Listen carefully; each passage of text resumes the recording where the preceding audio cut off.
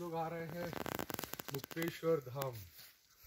नैनीताल से लगभग 40 किलोमीटर की दूरी पर। सत्तर किलोमीटर नैनीताल से? फिफ्टी टू नैनीताल से लगभग बावन किलोमीटर की दूरी पर है ये मुक्तेश्वर। मैं नैनीताल की बहुत सारी जगहों पर घूमा हूँ लेकिन अभी तक का अविस्मरणीय अनुभव अनुभव रहा है जागेश्वर और मुक्तेश्वर का।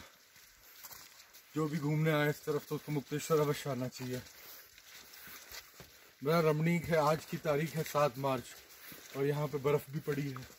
कहीं कहीं बर्फ़ के फोए पड़े हुए हैं, और भी बर्फबारी का अंदेशा है।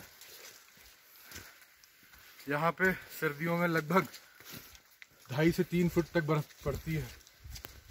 कुछ समय तक तो यहाँ पे यातायात भी बाधित हो जाता है।